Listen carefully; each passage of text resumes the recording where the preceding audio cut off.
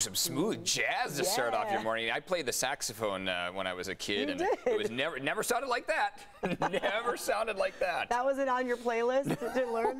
no, no, I could never dream playing that good. It was that was Kenny G, wasn't it? Kenny G. Oh, yeah. yeah, I didn't know you were a saxophone player. I don't know if I I'd call myself recorder. that. If you'd heard me, you'd be like, you were just attempted. You were just a, a saxophone attempted player. Hey, it's that you tried. That's Yeah, what counts. That's yes. right. By the way, I love your pink here this morning. Getting Thank ready for. Valentine's this weekend. You know, there's a holiday coming up. Yeah, of course, today, the Lunar New Year. We got Galentine's on Saturday. A lot going on Valentine's here. on Sunday. So, Evan, we're all looking to the forecast. Yeah. Yeah, that's right. Uh, yeah, Neda and I will play the recorder while Eric jams out on Yeah, the that's about as good at that, yeah. Jenny, any instruments that we should know about? Uh, no. Okay. no, no good to know. tambourine or triangles? She will triangles? sing. She will exactly.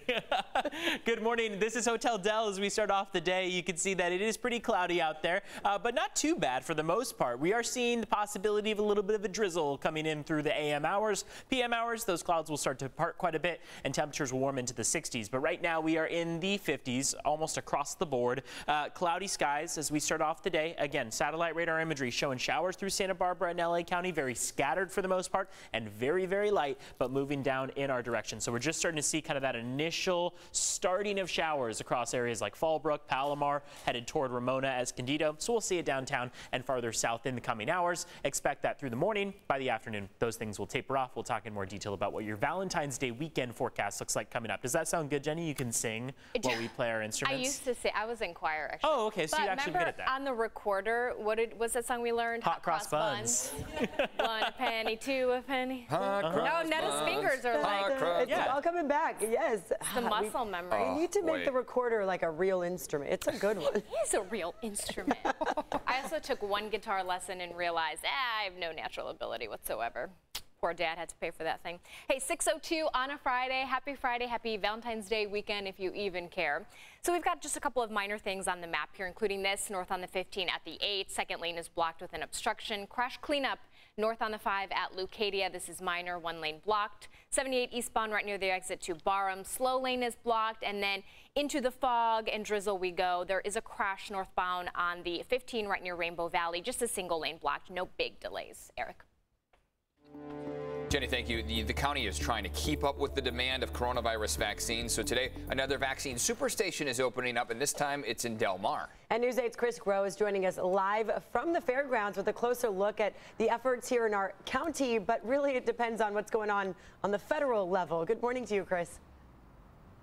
Good morning, Eric and. And look, some good news coming on that federal level. President Biden announcing that they have gone ahead and purchased uh, 200 million more doses of the vaccine. Take a listen to what he had to say. We've now purchased enough vaccine supply to vaccinate all Americans. That's a month faster. That means lives will be saved. And some of those lives that will be saved will be vaccinated here at the new Del Mar Fairground Superstation. And this is the fifth superstation in our county to pop up during this pandemic. Now, it's not technically fully operational just yet. It will be opening today at 9 a.m. It will be open up on Saturdays and Sundays, but it won't have a full uh, week of days or even as many vaccine doses as they would like to get out until those supplies arrive. So again, uh, it will be interesting to see just how many doses they will get to or how many more days they will be open when we do get some more vaccine doses. Now, to give you a, a, a clearer picture of the issues that the county is dealing with, leaders learned that as of last Sunday, county vaccinations had only about 15,000 doses on hand, with about 111,000 sent to health providers countywide. So the federal government promises that backup is on the way, which is a very welcome sign to those that will be staffing superstations such as this one, which will be staffed by Scripps healthcare workers here in Del Mar. We are doing everything we can here in San Diego County to um, have these vaccination stations up and running. Unfortunately, we still don't have adequate doses uh, from the federal and state government.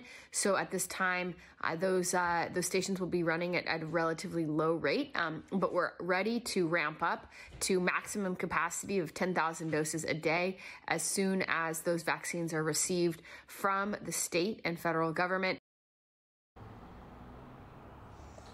And so today they'll be opening up and starting at 9 a.m. It will be appointment only, which is the case with many of these vaccine sites, including the five super stations. It is, though, both drive through and walk in. If you'd like to make an appointment, if you fit into Tier 1A or you are 65 and older, go to our website, cbs8.com, and click on that help button. Eric and Neda. Chris, thanks for that update. So let's get you caught up on the vaccine distribution numbers in our county. More than 550,000 doses have been given to San Diego. This is the latest update, and that means 15.5% of people in the county have received one shot. 3.3% have been given both doses. They're fully immunized. Right now, more than 78% of the doses the county received have been administered. And after a three-day slide of cases under a 1,000, our cases are now back above that number. Officials are reporting just over 1,100 new cases of the coronavirus. 51 new deaths were reported here, bringing our total now to 2,955. The number of COVID hospitalizations is continuing to drop, and right now just over 300 patients are in the ICU. Families are waiting to see what's next for their kids' lesson plans. Today, the CDC will release new guidance on reopening schools. This comes as San Diego Unified has reached an agreement with its teachers union, but they want teachers to be vaccinated, all of them, before students return to class. News 8's Allison Royal live outside district headquarters to break it all down for us here this morning. Good morning, Allison. Good morning, Eric and Neda. Well, you two are certainly familiar with the colored tier system because we've been living in one here in California. The red tier, the purple tier, the dreaded purple tier. But what if there was a colored tier system for schools? The CDC says that could be a possibility. According to CBS News, those CDC guidelines could be broken down into four color-coded zones fully in person, hybrid, reduced attendance, and virtual only. The blue tier would mean a community has low risk of COVID 19 transmission and thus pretty few restrictions. However, the red tier would be the most restrictive, meaning that middle school and high school students would need to be fully virtual. However, as we've seen time and time again in this pandemic, these guidelines are subject to change. The San Diego Unified School District said in a statement that it will open whenever it is safe to do so. The school leaders agreed on a quote, reopening framework that centers on the availability of vaccines to all school staff who wish to be vaccinated and the continued reduction of case rates in the communities surrounding schools. Some strategies you can expect as schools reopen. They include universal mask wearing, testing of symptomatic people, contact tracing, social distancing, hand washing, isolation, and quarantine protocols. San Diego Unified said it will continue to pressure California leaders to make the COVID 19 vaccine an option for teachers that wish to get it. Now, the fall semester seems like a ways away. I mean, I don't know about you, but I feel like August is, you know, it's six months away. However, families with kids, they need to plan, they need to think ahead. And so the San Diego Unified School District said it plans to offer in-person instruction for the fall, but will also offer virtual instruction for families that would feel more comfortable with that. Of course, as we learn about these CDC guidelines that we're hoping to hear about today, we will bring you that information on air and on CBS8.com. So I'm going to send it back to you, Eric and Neda. Of course, a lot of parents wondering, uh, you know, why this can't happen now, this school year. Well, we're going to hear from the Teachers Union for San Diego Unified here in just a little bit. The Vice President of the San Diego Education Association will join us live at 6.30 to discuss why they're asking for teachers to be vaccinated in order to reopen when the CDC says it's not a requirement. So stay tuned for that. New this morning, President Biden is taking a step towards reversing the Trump administration's Remain in Mexico policy. The Biden administration is allowing 25,000 asylum seekers here in the U.S. as they wait for their next immigration court hearing. The Trump era policy required asylum seekers to wait outside the U.S. while their cases were being decided. The White House says admissions will start at three unidentified border crossings a week from today.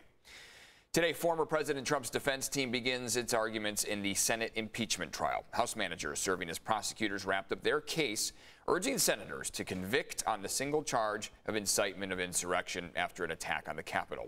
They argue the former president poses a future threat to democracy if he's acquitted and not barred from running for office again.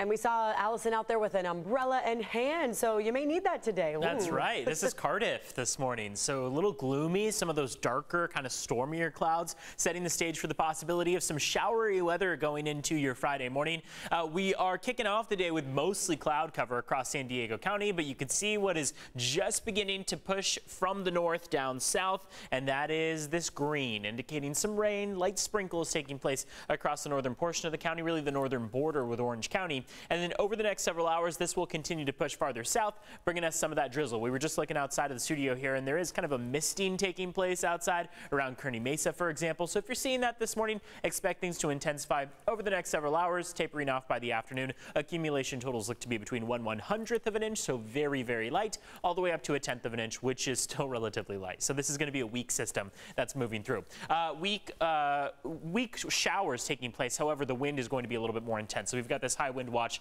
that will take place at 10 a.m. tomorrow. Uh, we are still seeing today in the 40 and 50 mile per hour range in some cases. So don't let your guard down too much across the mountains and the deserts. That's where that will take effect. However, for the most part, the weekend is going to be very pleasant out there. Just a breeze uh, kicking in. Saturday, 60 degrees. Sunday, 63 degrees for your Valentine's Day couple AM mountain showers taking place, but otherwise looks like sunshine and a few clouds are going to be in the mix as well. I'll